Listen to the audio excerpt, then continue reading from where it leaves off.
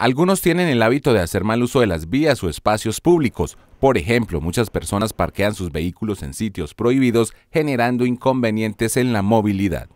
Nosotros hemos estado recibiendo como una serie de requerimientos por parte de los ciudadanos referentes a lado de vehículos en vía pública, reparación de vehículos en aceras y en vía pública. Es muy importante que las personas sepan que la acera es vía pública y es eh, destinada al tránsito peatonal.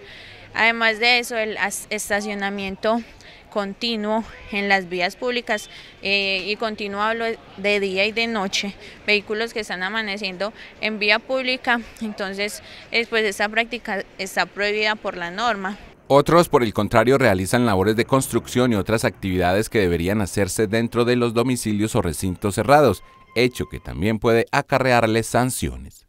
¿Qué nos ha pasado también mucho? Eh, gente que está preparando mezclas en vía pública, eso tampoco es permitido. ¿Por qué?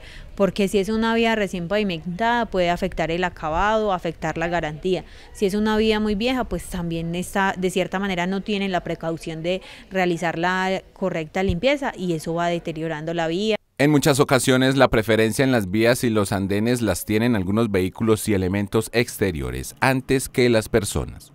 Entonces la administración municipal, pues cabeza de la Secretaría de Tránsito, va a iniciar como todas las labores sancionatorias que indica la ley 769, que es el Código Nacional de Tránsito. Eh, las infracciones que se cometen al realizar este tipo de acciones son tipo C y tipo D, que son eh, infracciones que oscilan entre 390 mil pesos y 782 mil pesos. Seguramente las disposiciones de la Secretaría de Tránsito y de Planeación se harán efectivas en los próximos días. Como quien dice, después no digan que no se avisó.